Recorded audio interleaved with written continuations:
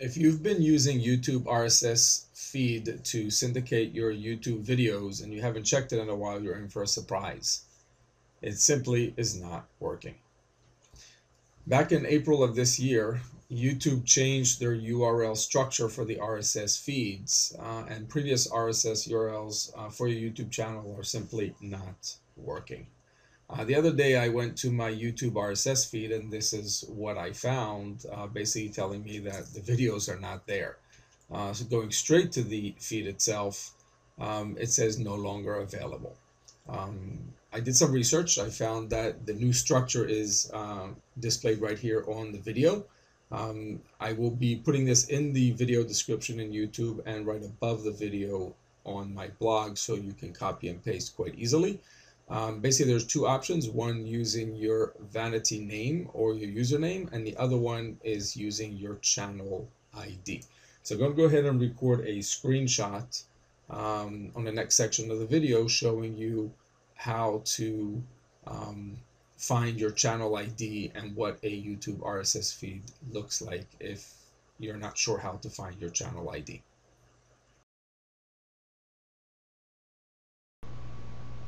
Okay, so in this video we're going to go ahead and show you how to find your YouTube RSS feed uh, with the new changes that YouTube introduced in April 2015. Now the new structure of your URLs appears above this video on my blog, but if you're watching this on YouTube, I'll go ahead and put this in the description for you so it's easy for you to copy and paste. What you want to do is go ahead and copy it out and paste it into a notepad. The reason being is that uh, if there's any extra characters as a result of formatting either on WordPress or YouTube, uh, Notepad will strip that out for you. If it shows up with any additional characters right here behind the words channel ID or username, just go ahead and delete those because really this is um, all that you need. Um, so first of all, we're going to go ahead and do the top one, which is using your um, vanity URL. Now, if you don't know what a vanity URL is, is uh, you can secure a name uh, for yourself in YouTube. Um, if you're developing an MLM business, uh, best would be to use your name. Um, if you have a brick and mortar company, you might want to choose your company name as the vanity URL. What that actually means is when you go to YouTube, and we'll show you what, go ahead and open a new browser here and when you go to youtube.com forward slash the vanity URL of the vanity name, in my case it's my first name, last name, which is Gershon Yakir, and it already shows up here. You click on it and you will arrive at my YouTube channel. Um, so if I'd like to see what the RSS is for my YouTube channel using my vanity uh, URL, which is Gershon Yakir, I'm just going to open a new browser. We'll go back to the notepad. We're going to grab the first template, which again will be above the video, or if you're watching this on YouTube, it will be in the description below. Copy this out, go ahead and put this in here, and just replace the word username with the vanity URL, which is Gershon Yakir. Go ahead and press enter, and this is what a YouTube RSS feed looks like. Uh, essentially, it's a list of all your videos. Any link you click on will take you straight to that video. But this is the kind of format that other websites can read, which makes it easier for automation uh, and syndication of your content or your videos into social media sites and other locations.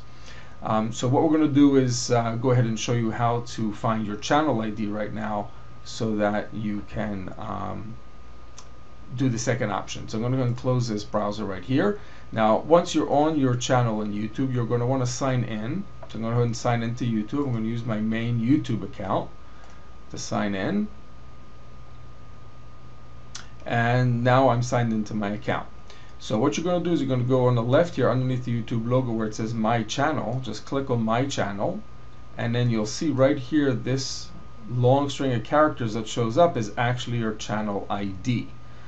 So if you go ahead and copy this from here, go back to the notepad where we left the second structure of the URL and instead of the word channel ID right here, go ahead and replace this, replace the channel ID that we got from the address bar in YouTube. Now if we copy this entire section right here, go ahead and open a new browser and just drop it right into the address bar, you'll see that you're actually getting the YouTube RSS, the new structure of the YouTube RSS using your channel ID. So this is one way to find a channel ID. Channel ID, probably the easiest one. Um, let me show you another way that you can do that if for some reason um, that doesn't work for you. So you're going to go back to your YouTube account. You're going to have to be signed in. Um, go ahead and click on the your little picture on the top right hand side and select the YouTube settings button. Now you're going to go right next to your picture. There's an option for advanced. So click on advanced. And then once you're here, you'll be able to see your YouTube channel ID right here. So again, this is the same long code that you grabbed from the other one. So again, if you just copy that, paste that into the structure, and then you'll be able to uh, basically get this entire uh, new structure for URL using the YouTube uh, channel ID. So again, if you don't have a vanity URL, this would be your option. Well, if you've uh, watched uh, all the way up to here and you're still not sure what a YouTube RSS feed is or what it's used for, uh, in general, an RSS feed is a list of all your posts. Uh, if it's a blog or a Facebook account, or um, in the case of YouTube, it's a list of all your videos. It's designed to be read by other online services.